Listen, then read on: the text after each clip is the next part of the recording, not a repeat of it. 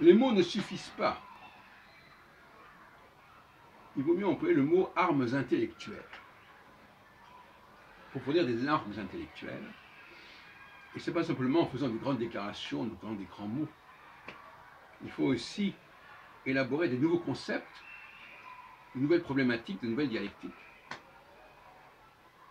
qui vont permettre de lutter en changeant certaines armes, on peut changer les rapports de force.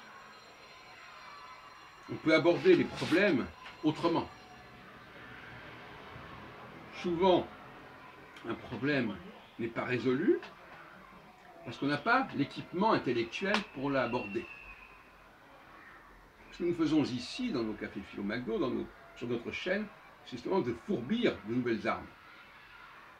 Et en fourbissant de nouvelles armes, on va, comme je l'ai dit, modifier les rapports de force et rendre possible certaines conclusions, certaines prises de conscience qui n'étaient pas jusque-là.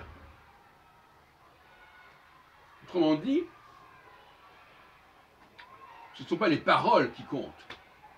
Il ne veut pas de, de, vouloir ceci ou de voir cela. Il faut s'en donner les moyens. Et les moyens exigent de constituer de nouvelles armes, de nouvelles stratégies.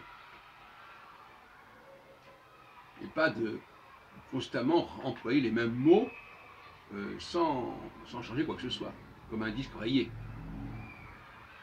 L'intellectuel est celui qui est capable de fabriquer de nouvelles armes, plus décapantes, capable de débloquer de désenclaver les choses.